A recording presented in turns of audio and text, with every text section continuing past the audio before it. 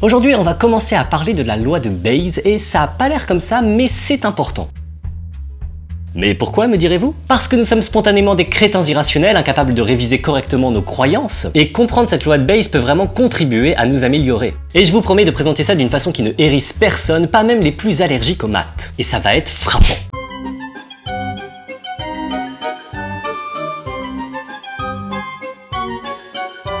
Supposez qu'il y a une certaine maladie et on vous fait passer un test pour déterminer. Attends, c'est quelle maladie exactement? Non mais j'en sais rien, c'est juste un exemple, c'est une expérience de pensée. Non mais faut savoir, ça s'appelle comment? Bah, euh, schtroumpf. La schtroumpfite.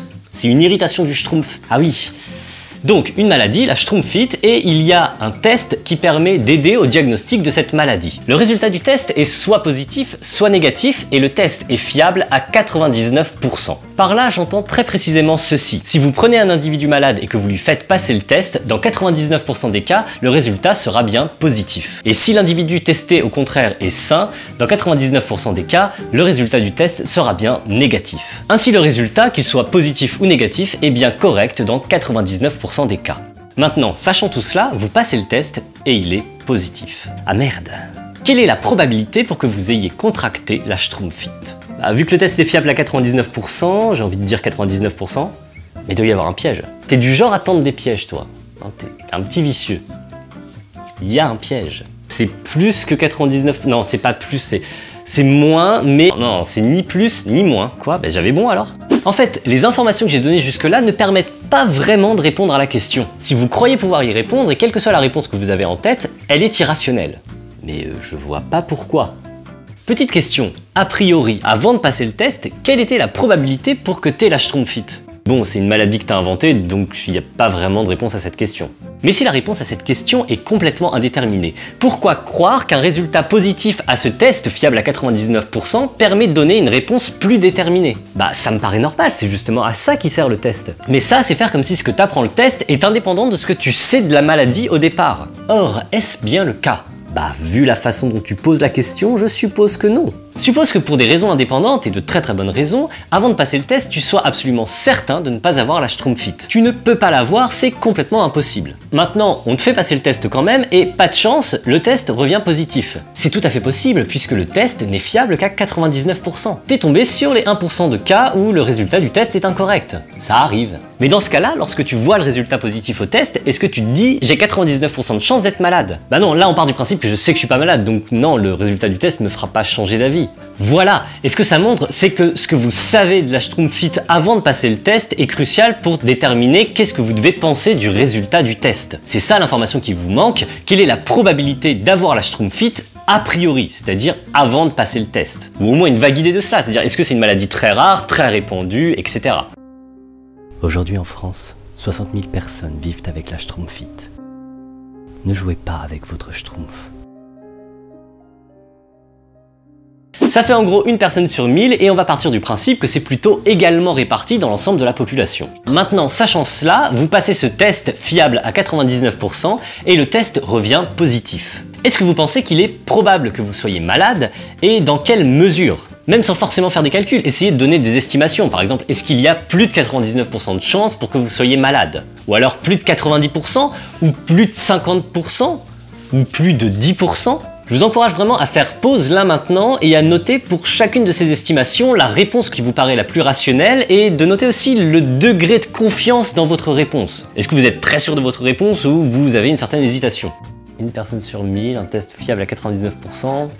Je pense que je suis malade. Il y a de fortes chances pour que je sois malade, c'est sûr de fortes chances, genre 99% Je sais pas exactement, j'ai la flemme de faire des calculs précis, mais plus de 90%, oui, je pense. Et plus de 50%, c'est quasi sûr, et bon, plus de 10%, bah, c'est même pas la peine de poser la question. C'est un peu idiot comme question quand même. Je pense que c'est en gros la façon spontanée de répondre, effectivement. Ceci dit, vous avez sans doute répondu avec plus de prudence et moins de spontanéité dans la mesure où on est dans une vidéo qui est censée montrer à quel point nous sommes irrationnels. Du coup, vous vous attendez à un piège, c'est bien normal. Bon ok, je pense que je me suis trompé, mais sur laquelle? Eh bien c'est moins de 99%, c'est moins de 90%, et c'est aussi moins de 50%. Et en fait, c'est même moins de 10%. Ah bon? Oui, dans la situation que j'ai décrite, vous avez moins de 10% de chance d'être malade. Euh, ok, mais va falloir m'expliquer, hein. et je te préviens, je suis nul en maths. Pas de problème, on va y aller très simplement. Prenons un échantillon représentatif de 1001 individus. Pourquoi 1001 Parce que ça va nous simplifier la vie. Puisque notre maladie, la Schtroumpfite, touche en gros une personne sur 1000. On peut s'attendre à trouver dans notre échantillon une personne malade et 1000 personnes saines. Et maintenant, faisons passer notre test à tous les individus.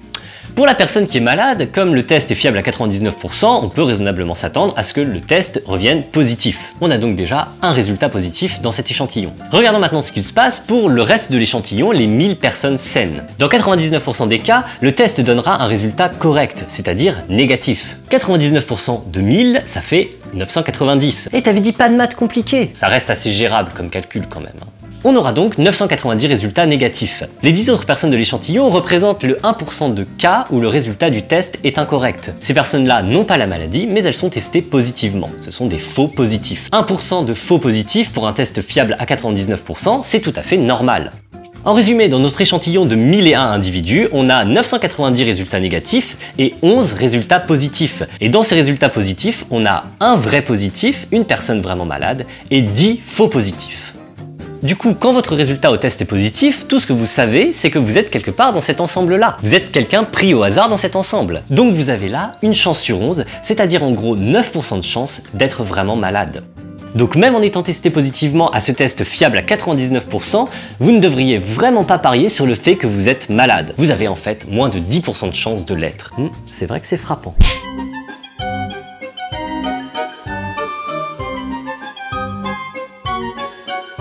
Nous avons toutes sortes de croyances sur le monde et nous devons régulièrement modifier nos croyances en fonction de nouvelles informations. C'est un processus très général et très important dont dépend dans une large mesure notre capacité à nous représenter correctement le monde. Et le cas imaginaire qu'on vient de voir, c'est juste un cas particulier de ce processus très général. Et c'est même pas un cas compliqué, c'est plutôt un cas très simple et très précis. Au départ, j'ai de bonnes raisons de croire que je suis pas malade puisqu'il n'y a a priori qu'une chance sur mille pour que je le sois. Puis j'acquiers une information nouvelle en passant le test, le résultat du test est positif et je sais que le test est fiable à 99%, de là, être rationnel, ce serait être capable de modifier correctement ma croyance en fonction de cette nouvelle information. Et ce qu'on remarque, c'est que même dans ce cas très simple et très clair, on a spontanément tendance à modifier notre croyance d'une façon très incorrecte. On a spontanément tendance à se croire malade, sans doute à plus de 90%, et ça avec une grande confiance, alors qu'en fait, on a plutôt 9% de chance d'être malade. Donc c'est pas une petite erreur qu'on fait, c'est une grosse, grosse erreur. Bien sûr, c'est juste un petit exemple, mais comme ce petit exemple est un cas particulier d'un processus plus général de révision des croyances en fonction de nouvelles informations, et comme ce processus est très important dans la formation de nos croyances, il y a lieu de craindre que nous soyons de façon générale très très irrationnels. Et ça, c'est un petit peu déprimant. Heureusement, on peut essayer de s'en corriger, c'est pas si difficile, et c'est justement le but de cette petite série de vidéos. Eh mais t'as même pas parlé de la loi de machin là, Bayes. En fait, tout ce qu'on a vu a un rapport direct avec cette loi, Bayes. En gros, cette loi, c'est un théorème de théorie des probabilités, et ça décrit la façon de déterminer la probabilité d'un événement A, sachant une information B. Ça ressemble à ça. La probabilité de A sachant B est égale à la probabilité de B sachant A multipliée par la probabilité de A divisée par la probabilité de B. C'est pas très sexy et j'ai pas envie de vous assommer de maths. Ce que je vais essayer dans ces vidéos, c'est plutôt de vous faire saisir l'esprit de cette loi et surtout les raisons qui font qu'on a tant de mal à l'appliquer intuitivement. Mais je vais vous mettre des tas de bons liens dans la description si vraiment vous voulez aller plus loin. Full pour le monstre vert. Bon bah bravo. Aux échecs non plus, j'arrive pas à le battre, il est, il est énervant. Tu, vas te refaire, t'inquiète pas. Merci d'avoir regardé cet épisode, j'espère que ça vous a surpris et frappé et que ça vous donnera envie de regarder la suite. Vraiment, je pense que comprendre au moins intuitivement la loi de Bayes est important pour avoir une représentation rationnelle du monde, pour bien s'orienter dans les pensées, comme disait l'autre. Donc on peut lire Kant, mais on peut aussi essayer de comprendre la loi de Bayes. Ça sert assez souvent. Voilà. Qu'est-ce que je veux dire? Partagez ces vidéos, ça fera pas de mal. Répandez la bonne parole, la loi de Bayes est importante. Le monde n'en sera que meilleur, enfin je pense. Bref, à très bientôt. D'ici là, prenez garde à la Schtroumpfite.